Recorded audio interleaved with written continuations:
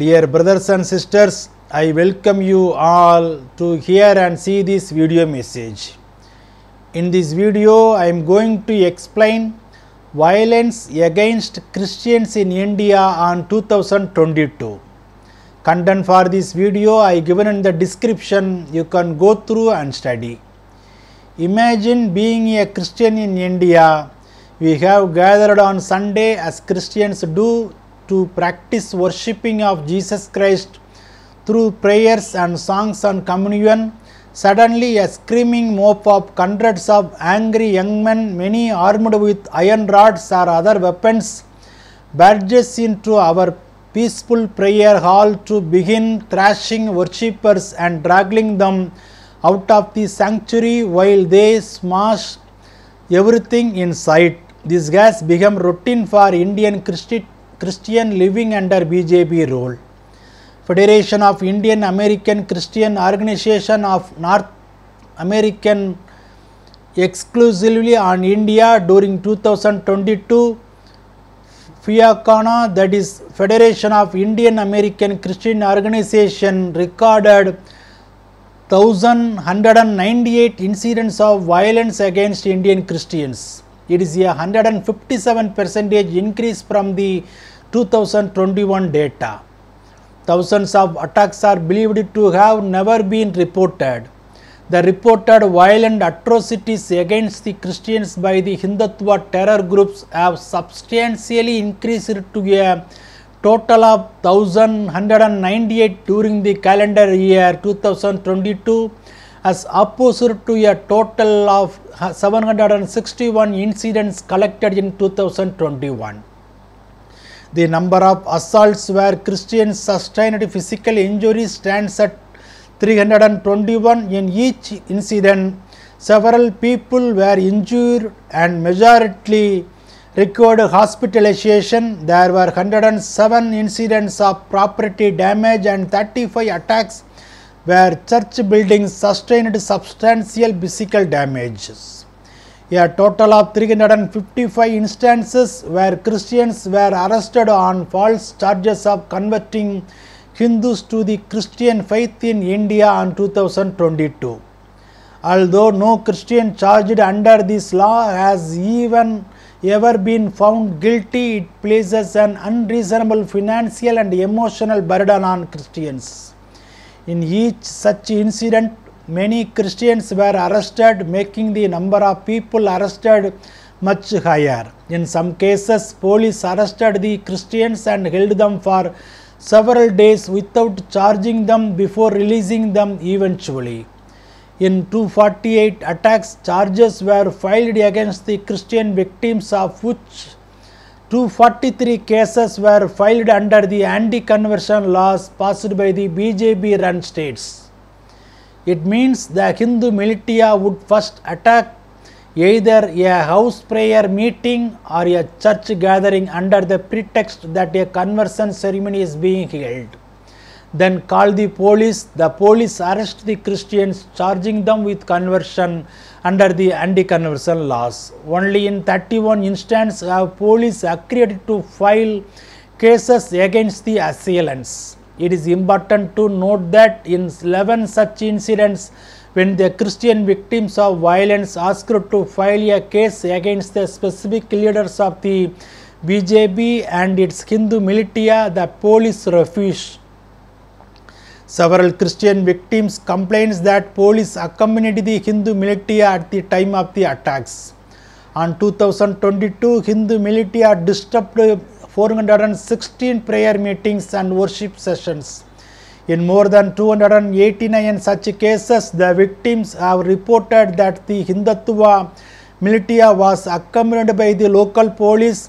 It indicates that the police were not only acting as an extension of the Hindutva militia, but a large number of attacks were pre-planned to arrest Christians during the Sunday service.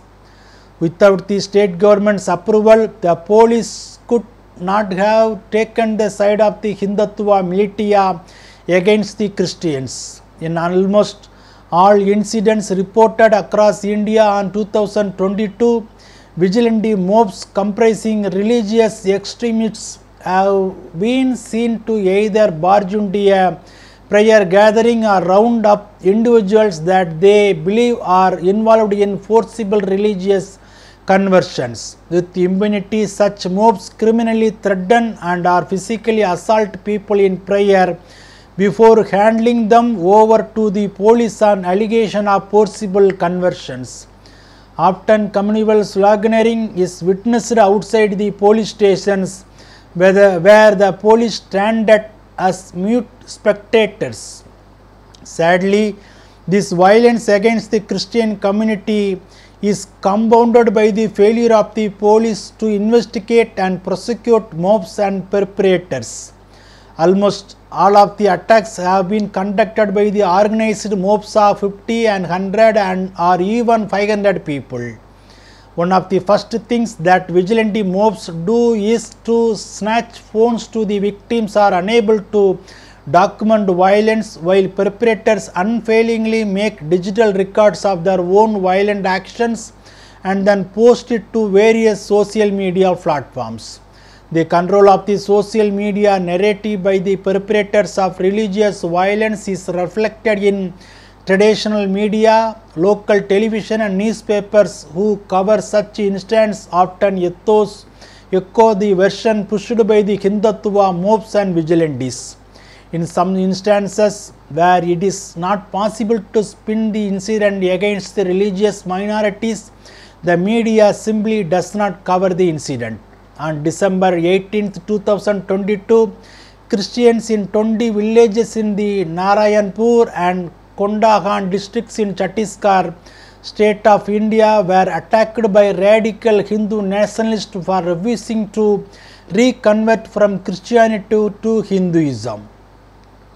Local villages forced approximately 200 Christians from 70 families to leave their homes. There were 20 coordinated attacks on Christians around the state that day. According to the Evangelical Fellowship of India, the villagers said the Christians must renounce their faith or leave the area. When some protested, they were beaten. The fellowship said some Christians were hospitalized because of their injuries, and police refused to take action when the victims filed complaints against their attacks. Throughout the year 2022, destruction of property, including places of worship in predominantly Muslim and Christian neighborhoods, continued. Hindu nationalists bulldozed a Catholic center near Mangalore in February 2022 and attacked, looted, and destroyed the homes of hundreds of Christians in December 2022 for their refusal to convert Hinduism. There were 227 instances of hate crimes in Tamil Nadu between 2014 and 2022 in which Christian communities, pastors and churches were targeted by Hindutva extremists.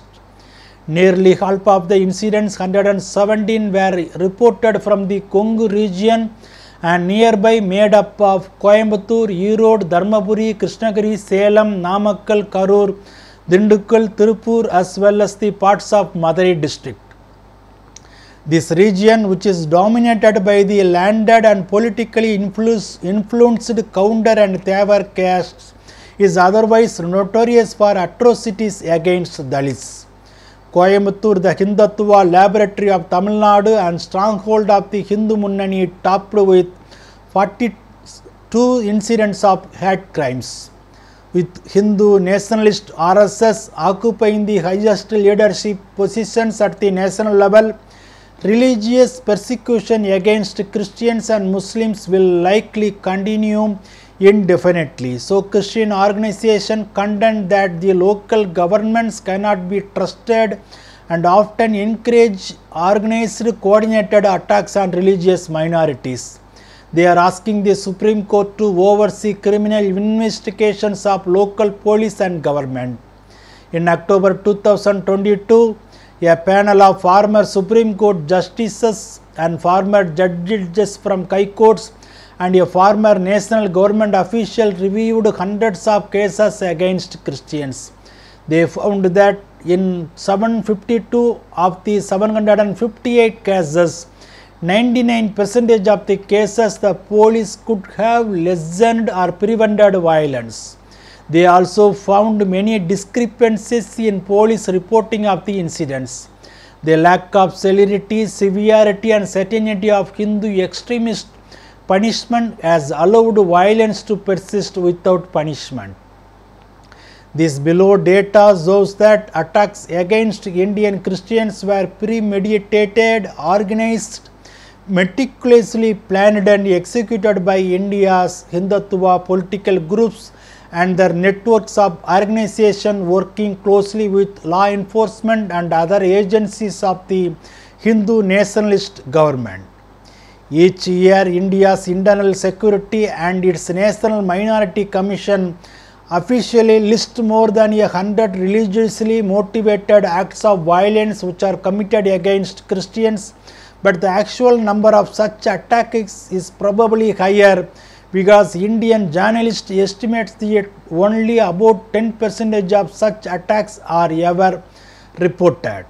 These attacks include the ransacking of churches, monasteries and other Christian institutions, the burning of copies of the Bible, the discrimination of the cemeteries and the murder of the priests and missionaries and the sexual assaults of nuns. Most incidents go unreported due to the fear of reprisal and lack of confidence in India's justice system.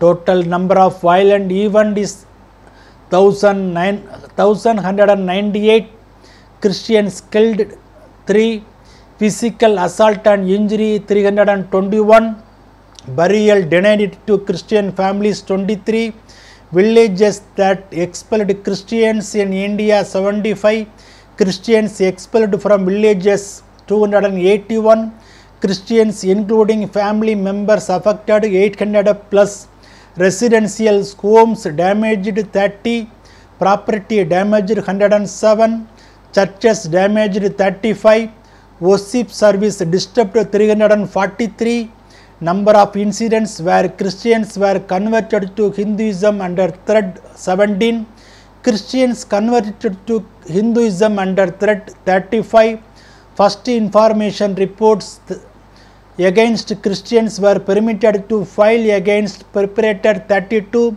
Number of incidents where FIRs were not accepted by police in India 11. Incidents where FIRs were filed by extremists against the Christian victims in India 248. Number of incidents where Christians arrested 355.